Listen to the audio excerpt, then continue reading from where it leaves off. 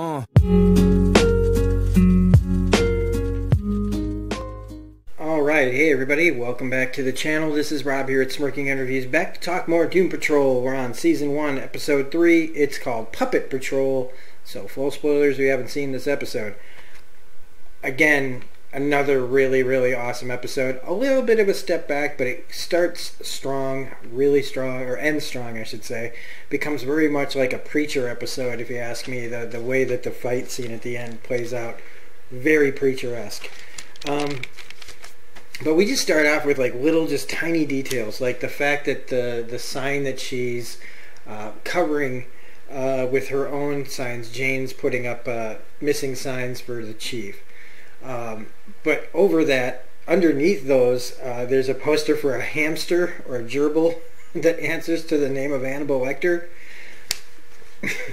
Please tell me we're going to meet this this animal. Also, on the posters that she's putting up, the word lost is written just like the the way that the show Lost is written, like in promo pictures or like on the DVDs. In fact, I mean, I should go grab it real quick just to show you guys what I'm talking about. But it's written in the same style. So I don't know if that's kind of a, a nod to somebody on the show liking Lost. But uh, during this whole thing, though, she's listening to some loud music, and she doesn't realize that practically the whole town, it seems, is following her. Uh, they're not happy. so after the events of the first two episodes, even though they came back uh, from the vortex that is the the donkey's transdimensional butthole or mouth or whatever, they're not happy. They want her out of there. Um, which leads to a pretty funny moment when she staples the thing to the guy's head. Uh, that was pretty good. Um, when Victor is uh, checking out the video, he's got he has those memories of the uh, night of the accident. Thought that that was really cool that he's going back in and studying it. Now you'd think that this is something he would have noticed right away, but I mean, I felt like the explosion uh, that blew the whole place up was like he threw that stuff across the room, but the explosion happened from another side of the room and I guess that's probably why all of a sudden Mr. Nobody's name came up in the thing. Um, but they do look like separate events. Like he smashed something, but I don't think that stuff blew up. That was.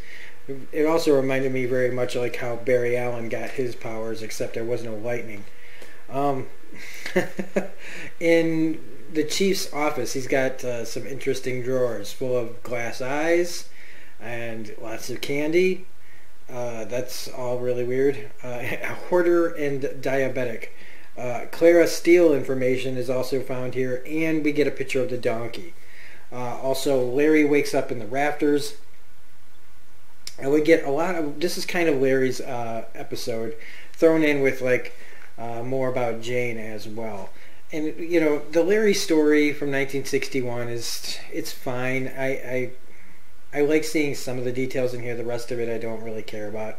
The whole like him being uh, afraid to come out in 1961 uh, while his friend was more than willing to, you know, like, oh, I'm leaving the army. I'm sick and tired of pussyfooting around, and it's great.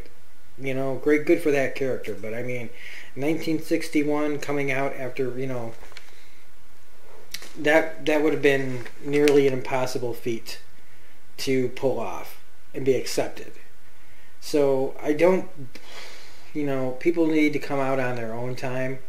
Larry's problem was that he went and uh, did what a lot of guys did, which was try to be a straight man uh, instead of living their truth, and you know, ended up being with you know, kind of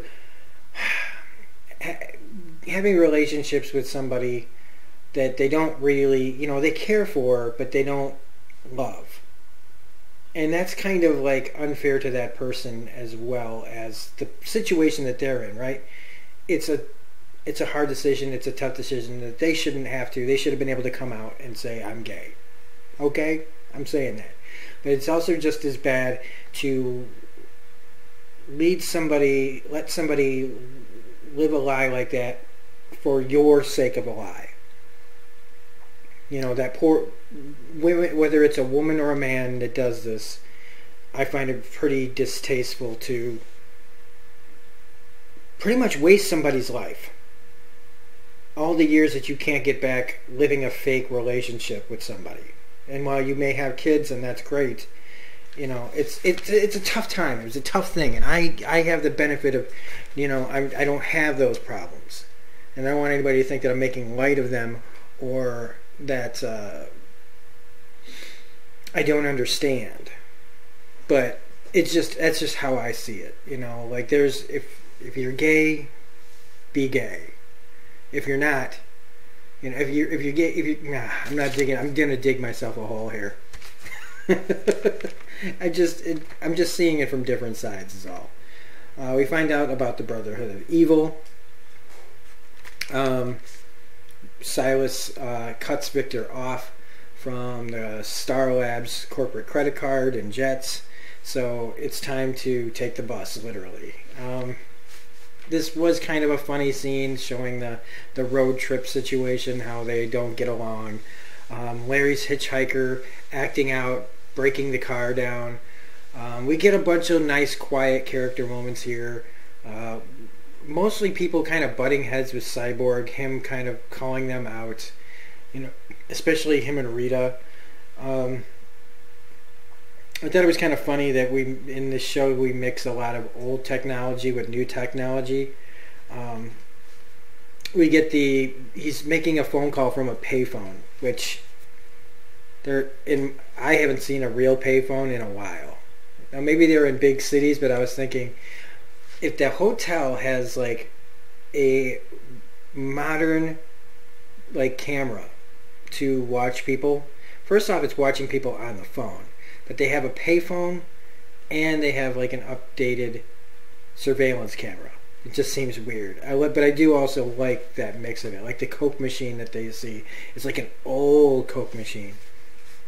Um, well, we also find out because Rita takes a really long time in the bathroom uh, that one of Jane's personalities is named Flit, and Flit's a teleporter, and Flit immediately transports everybody to Paraguay. Well, Robot Man and uh, Larry. Now, why didn't it take Rita and um, and Cyborg? I think probably because they weren't there, like right there. Um, but I, I, do like that each power is something unique. We're we're we're fleshing this out. We're not just seeing a couple uh, here, which I, was what I was worried about uh, initially. We also find out that this place is called Fuktopia. Fuktopia, just another way for somebody to say fuck on the show, which is fine.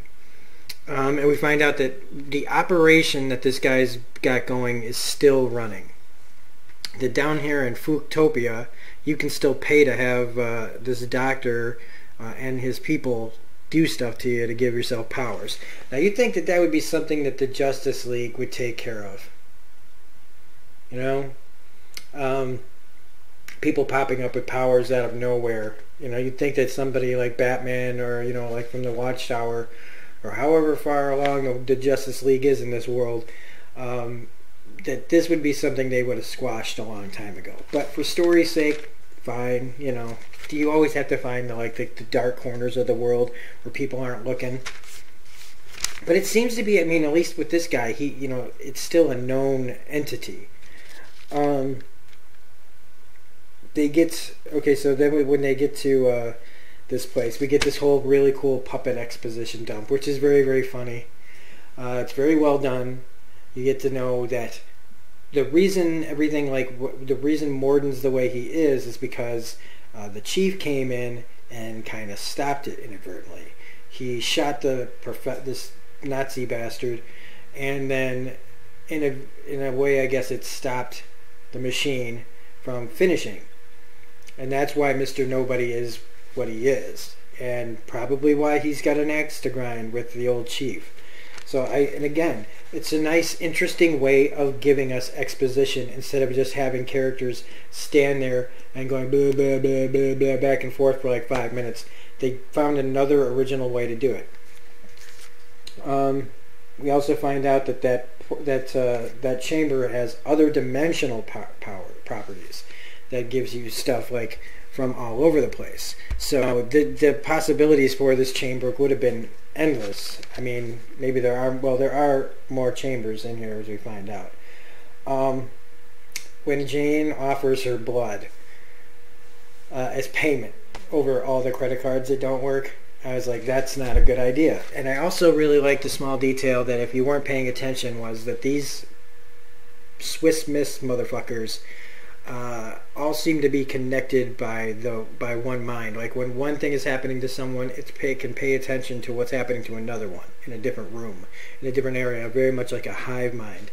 And it also kind of deals like uh, that's an interesting metaphor with the puppets and the pulling the strings and the control from somewhere else. You know, very very cool because it's like foreshadowing that you don't even really know that it's foreshadowing. I, I, I dig that so much.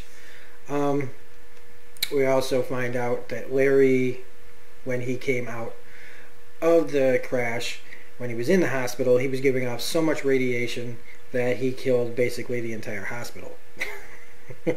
so they had to put him in a fucking like locked up anti-radiation chamber. Um, Silas Stone, Victor's dad, breaks down and gives, you know, I guess it's a test, testing his son. Uh, so he eventually gives him the jet so that uh, Rita and, uh, and Cyborg can catch up to everybody. And then Jane meets the real puppet man. When the, the Swiss Miss people bring her in there, you see that he's like a puppet too. Uh, like to keep himself alive, he's like a wind up you know, this guy. I mean, they must be working in shifts to keep him alive. This just crank going on and on and on. Uh, you got to give it up to the actor again who plays this guy. He he's in the chamber and he's all put together very much like a crazy Nazi science experiments would look like. Um, and we find out that uh, that uh, hang on we find out that uh, Jane was experimented on, experimented on, and it was the chief that helped her. So she has no sympathy for this guy. This guy is basically doing what was done to her to other people, except people are paying for it now, um, and still, I should say, still are. Uh, Larry enters the chamber to try to extract his hitchhiker, which works in a way, but also he can't get it won't let him out.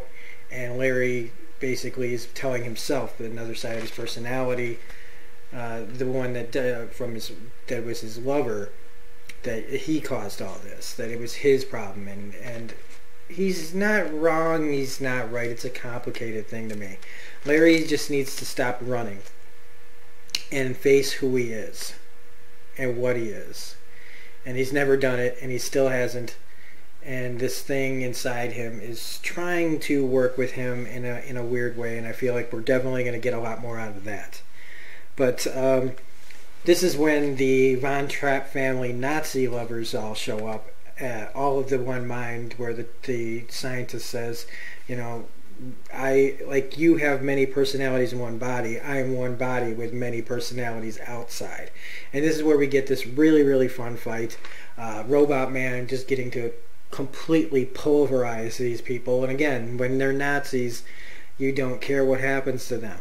Um, so the gorier, the better, and it keeps upping the ante. I love it. Uh, the whole double bird from Robot Man is great. And uh, Jane turning into the personality that can turn words into knives.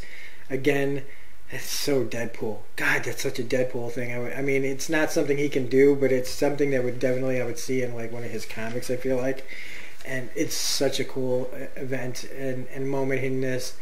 Um, and when she kills him, he says to her that this wasn't a victory for you. Uh, nothing that you've ever done is a, is yours. It's and and he talks about that whatever happened to little Jane. Like, is she the core personality? You don't quite know. And that's pretty much where the episode ends. They all kind of get back on the plane, tails a little bit between their legs, but they learn more about the chief and how a lot of the stuff that's happening is because of what he's done. But, you know, is it the ends that justify the means kind of situation that we're going to be in? I don't know. But the poor guy, well, not the poor guy, but the guy from the beginning of the episode, I think he was like on Entourage, wasn't he? Uh, so take that as you want. Um, but he comes out with a whole bunch of different things wrong with him. I guess he was left in there a little too long because he's got like a almost looked like celery, but it's not, and he's got like a like plant part of him, and looks like I, I don't know, but he's got a dinosaur on the other side of his head, and I so wanted that dinosaur to like bite his fucking head off, but oh, I, come on, I, I just I totally expected it to turn, look at him, and just go chomp, but I guess we'll maybe we'll see this guy later on. I don't know, but again, another really solid episode.